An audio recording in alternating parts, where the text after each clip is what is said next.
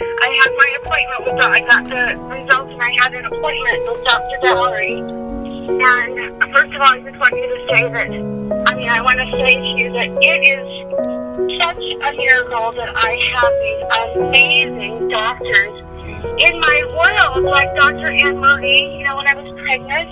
Mm-hmm. And so I have a positive, very abnormal test result, which means I'm, uh, which basically means that I have breast cancer. And, um, and it's a miracle. That's the way I'm looking at it. It's a miracle.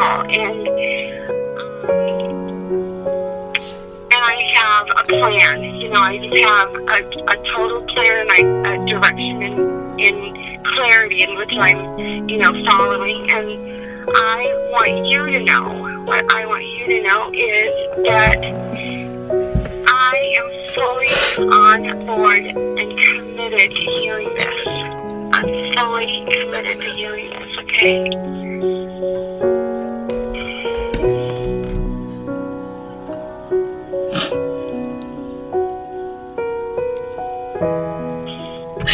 I love you. You know, it's scary.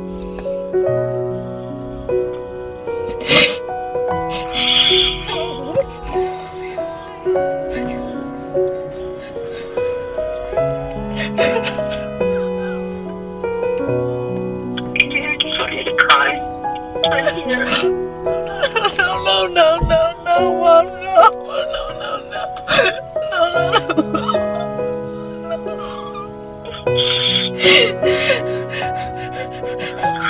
no, no, Mom, What my body's doing right now is containing it very solidly. And so that's the best, best case scenario. And it's, it's real.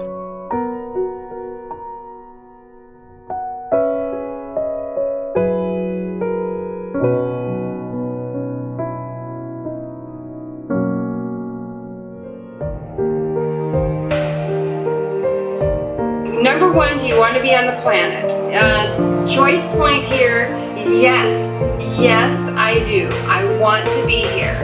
And and number two, are you willing to stand in your own truth and listen to your own inner voice, even when everybody else or a lot of other people are questioning your decisions? Yes, it's scary, and I don't like to not, you know, have people like me or think nice things about me, but I have to. I know I have the answers inside of myself, and I will ask for help from the outside when I need it.